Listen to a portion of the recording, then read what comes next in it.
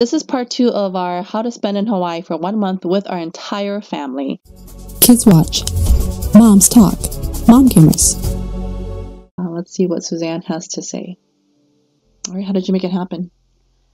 So it definitely was not cheap. I want to put that out there to begin with that this whole trip was a combination or happened money wise from a combination of our savings. And in my previous job, I had stock in the company Mm-hmm. and that was purchased while I was working and at a discounted rate. And Yes. so I cashed out on some of those stocks as well. And then on and then we also used some of the income that we were making as well. So it was a combination of three things. And I would probably have to say that the savings and the stocks were the main ways that I paid for this. And so our accommodations, we stayed at a condo in Honolulu, and that was booked through Airbnb. Mm.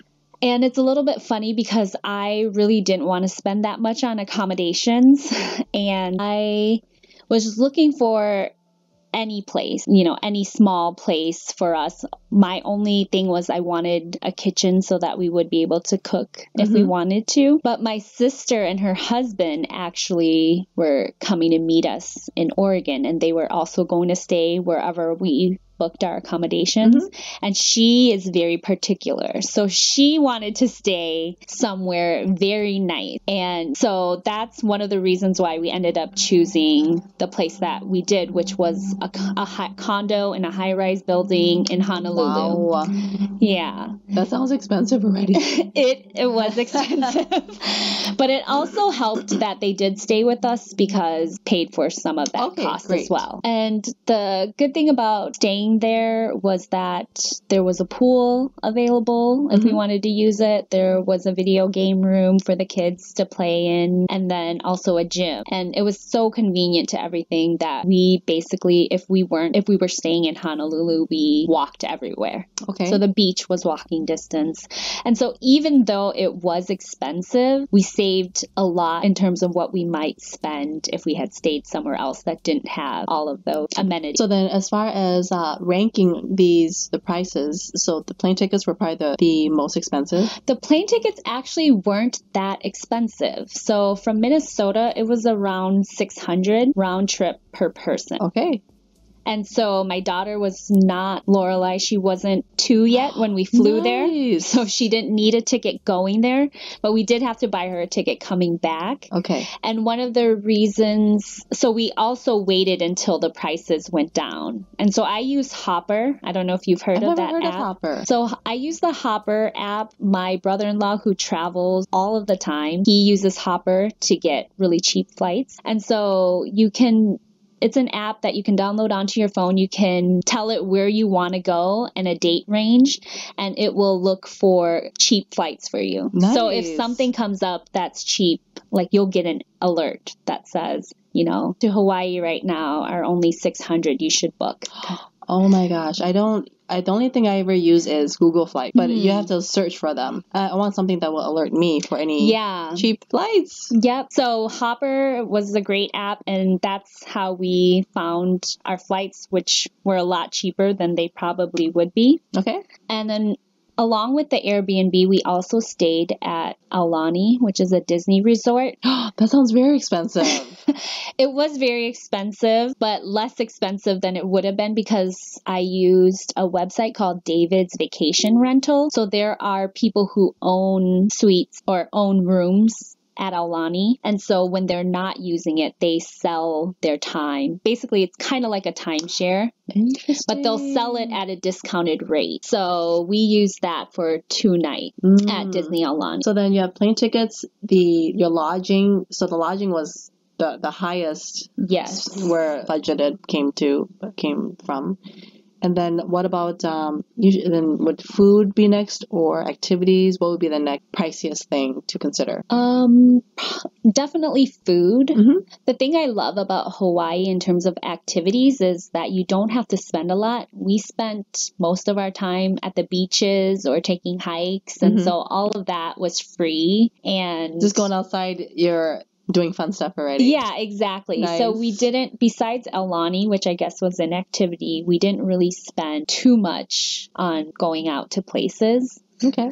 Yeah, so food we definitely was definitely expensive, but we also had a kitchen in our condo, so we did cook some of our meals. Okay. But then I also felt like we were on vacation and Hawaii is just has such a rich culture that we should try the food that's there. Mm. And so we did def- did indulge while we were there. You better. yes, it was for your daughter's golden birthday. That's great. What was like uh, a memorable meal? A memorable, yeah. Let's do a memorable meal first, and then a, a, something else later. But what was a, a really good meal that you had there? Um, I don't know about a meal in general, but just a few blocks from where we were staying was the nearest mall, and inside the inside of the mall, they had this little section. It's called Japan Village Walk, and it it just it's like you're stepping into Japan. Really? Yeah, and so there's food stalls. If you're from Minnesota, I guess it's the equivalent of Hmong Village, but Japanese wise. Yeah. Is it inside or outside? It's inside the mall. Wow, cool. Yeah, so you really feel like you're in Japan, and then there's just so much variety of food to choose from. And so we made the most of that for sure. Had many lunches and dinners there. Mm, Very cool. Yeah. Let's, uh, let's see. Was it worth it? Was it was it worth it being there for a month? It was totally worth it. I did not want to come back. Um, for me personally, I guess I just really enjoy the culture and the island life. For some people I know, they probably wouldn't enjoy it. Mm. You know, you might get a little stir crazy because time just moves so slow there. Ah, does it? It does, but that's what, for me, what I was looking for. And so I just loved it. And what I love about Hawaii is there's just so many different elements. If you want the mountains, you can go up into the mountains. If you want mm. the beach, you can go to the beach. If you want city life, you can go to the city life. If you want country, it, I think someone has said it only take you can go around the whole island of Oahu in one day. Mm-hmm. So everything's really close, but everything's also very different. And so I never got bored while I was there. Oh, you brought you brought up a good point. I never even thought of. I think, unfortunately, I might be one of those stir crazy people. Mm. Um, yeah, I, I even though I love a beautiful, immaculate, sunny day, I do like some change and or some structure to make my day kind of pace faster in routine. Mm. So I don't know. Maybe maybe if I'm much older, I might feel different. But um, but it's good to know that there's a place like that on Earth. Yeah. Beautiful like that. Uh, so I think something that either uh, I want, I would like to know, or somebody that is listening would like to know. Being there for a month, uh, what about your your job? What did you do or your husband do that was permitted you guys to be away from your job for a month? So I am a freelance writer and I did do some freelance writing while I was there. Hmm. But I think um, it wasn't as much as I had planned.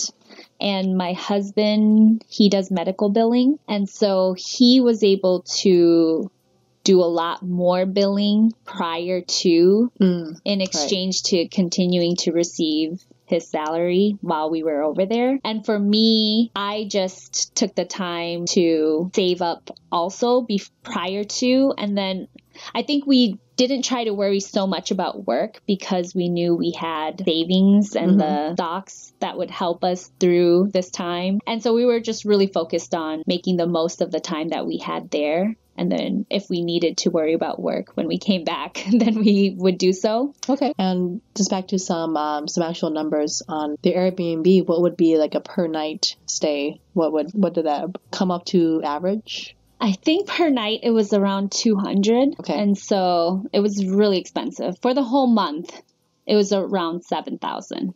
Are, are there cheaper options? There definitely are cheaper options. Okay. And uh, if it was just my family, I probably would have done a cheaper option. But because my sister was so adamant about Mhm. having a luxurious place, she, she owes you big time. yeah, but actually, at the end of the day, I am grateful that she did force us to get that place because even though it was expensive, it was so comfortable, Oh, right. whi- which we might not have had at a cheaper place. okay. So I think sometimes you have to weigh what you're giving up Mhm. for the money. And for me, looking back now, it was definitely worth it to spend the most on the accommodations.